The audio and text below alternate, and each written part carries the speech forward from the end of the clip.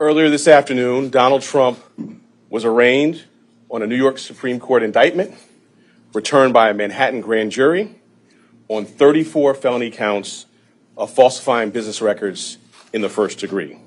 34 false statements made to cover up other crimes. These are felony crimes in New York State, no matter who you are. The defendant claimed that he was paying Michael Cohen for legal services performed in 2017. This simply was not true. Why did Donald Trump repeatedly make these false statements?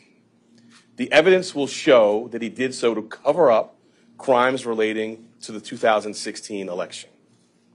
Donald Trump, executives at the publishing company American Media Incorporated, Mr. Cohen, and others agreed in 2015 to a catch and kill scheme.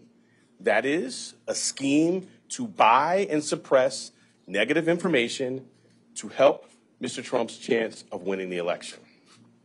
As part of this scheme, Donald Trump and others made three payments to people who claimed to have negative information about Mr. Trump.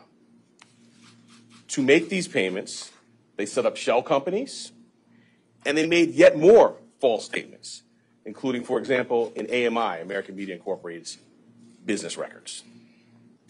One of the three people that they paid to keep quiet was a woman named Stormy Daniels. The scheme violated New York election law, which makes it a crime to conspire to promote a candidacy by unlawful means.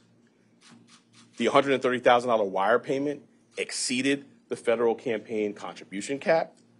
And the false statements in AMI's books violated New York law. That is why Mr. Trump made false statements about his payments to Mr. Cohen.